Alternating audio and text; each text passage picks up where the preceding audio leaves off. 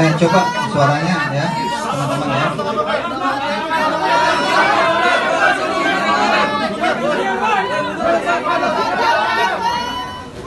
Terkait dengan penanganan kasus KDRT atau kekerasan dalam rumah tangga yang dilaporkan oleh Saudari Desti Kejora sebagai korban.